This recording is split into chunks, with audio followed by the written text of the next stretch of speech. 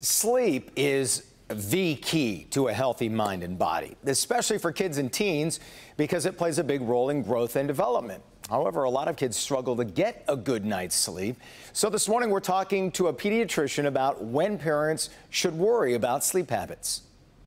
During sleep, the body is at work, supporting healthy brain function and keeping up physical health. But getting those Z's doesn't always come easy.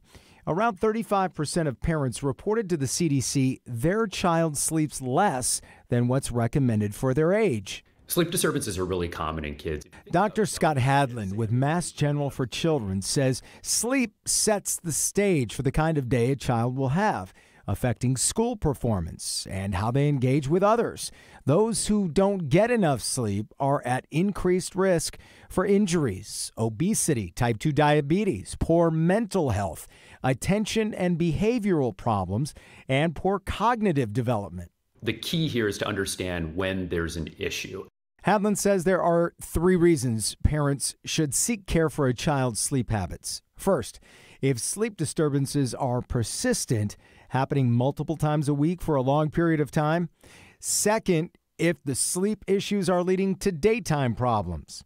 Finally, if you suspect a medical problem, for example, heavy snoring or gasping could be a sign of an obstructive sleep apnea.